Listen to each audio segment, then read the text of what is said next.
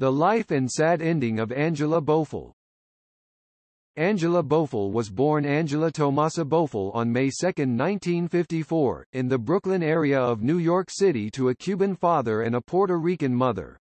Raised in the Bronx, Bofill grew up listening to Latin music and was also inspired by African American performers.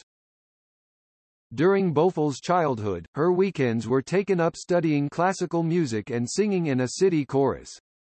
For high school, Bofill attended Hunter College High School, graduating in 1972. Bofill later studied at the Manhattan School of Music, receiving a Bachelor of Music degree in 1976. Bofill began her professional career, singing during her teenage years. Bofill performed with Ricardo Marrero and the group and dance theater of Harlem Chorus before being introduced to Dave Grusin and Larry Rosen of the jazz label GRP Records by Dave Valentine, her friend, and jazz flutist. Grusin and Rosen signed Bofill and produced her first album, Angie, in 1978. Angie was well received both critically and commercially and included the chart single This Time It'll Be Sweeter, and Bofill's sprawling jazz composition, Under the Moon and Over the Sky.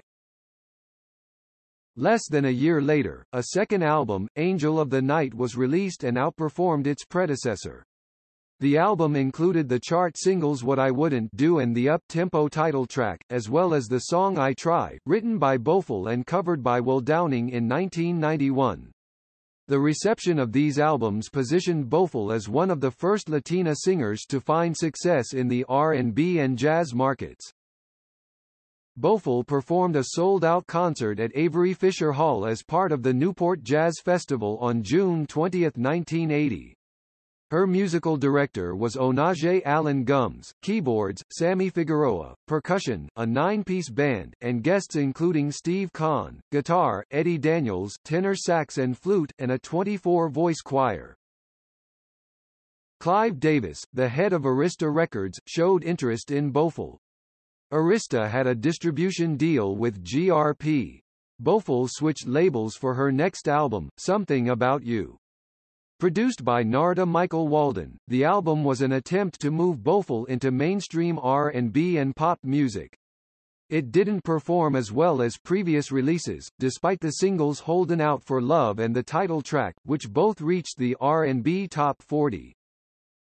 The following year, Bofill and Walden reunited for Too Tough. The title song reached number 5 on the R&B chart and spent four weeks at number 2 on the dance chart. A follow-up single, Tonight I Give In, reached the top 20. Several months later, Bofill released her final collaboration with Walden Teaser. The album failed to match the success of Too Tough but did produce one top 20 R&B hit, I Am On Your Side, which has been covered by several artists, most notably Jennifer Holliday, who had a top 10 hit with it in 1991. Bofill recorded two more albums for Arista with the help of the System and George Duke before leaving the label in the mid-1980s. Following the birth of her daughter, she moved to Capitol Records and the producer Norman Connors for Intuition, which produced her last significant chart success. A cover of Gino Vannelli's I Just Wanna Stop, which reached number 11 on the R&B chart. She recorded three more albums over the next eight years and provided backing vocals on albums for Diana Ross and Kirk Whalum and for Connors' Eternity. She performed live and appeared in the stage plays God Don't Like Ugly and What a Man Wants, What a Man Needs. She also toured the US and Europe in multi-artist jazz shows. Bofill returned to the stage, at the suggestion of Engel, for the Angela Bofill experience after losing her ability to sing after her second stroke in 2007. In the show, Bofill recounted her life and career and was joined by Maysa Leak, Phil Perry, and Melba Moore, who performed her biggest hits and signature songs. In 2012, Bofill was profiled and interviewed for the TV One documentary series, Unsung. Bofill was married to Rick Vincent from 1984 until 1994 and together they have a daughter, Shauna. Bofill suffered a stroke on January 10, 2006, and was paralyzed on her left side.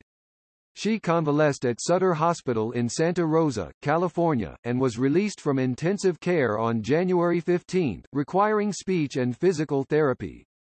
She lacked health insurance, and a benefit concert was organized to pay her hospital bills. Bofill suffered a second stroke in July 2007 which required therapy and left both her speech and mobility impaired.